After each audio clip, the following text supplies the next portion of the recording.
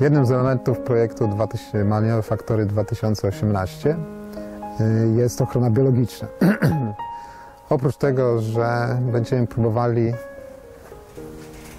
opanować szkodniki, y, introdukując do obiektu mm, organizmy pożyteczne, y, to również w programach ochrony przeciwko chorobom grzybowym znajdą się preparaty y, biologiczne oparte najczęściej na y, grzybach antagonistycznych i takim jednym z takich preparatów będzie polyversum, y, które wejdzie oczywiście w blok y, zabiegów przeciwko zamieraniu pędów maliny, przeciwko szarej pleśni. Wykorzystanie polyversum y, w ochronie malin jest, jest dobrym rozwiązaniem z prostego względu.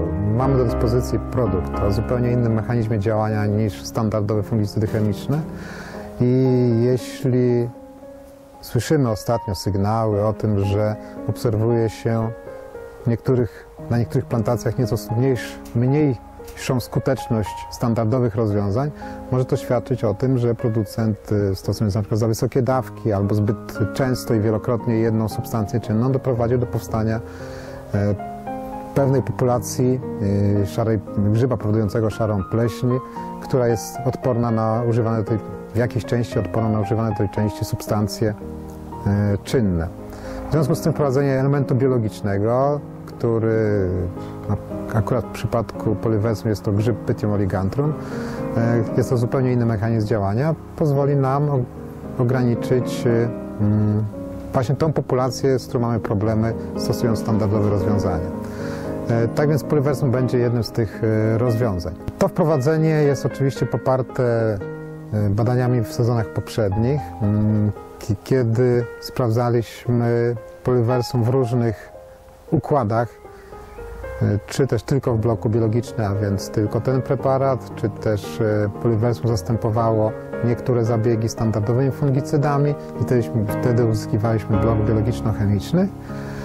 No i dzięki temu okazało się, że taki blok z ograniczoną ilością standardowych chemicznych fungicydów, w miejscu biologicznym, okazał się czasami lepszy od standardowego bloku chemicznego, a czasami niektóre lata na porównywalnym poziomie y, jego skuteczność wychodziła. E, Polyversum jest to nie tylko jeden preparat biologiczny, który będziemy wykorzystywać e, w budowaniu strategii antyodpornościowej. Drugim preparatem będzie Serenade Asok, y, które zawiera mm, bakterie z rodzaju Bacillus, a dokładnie to metabolity bakterii z rodzaju Bacillus.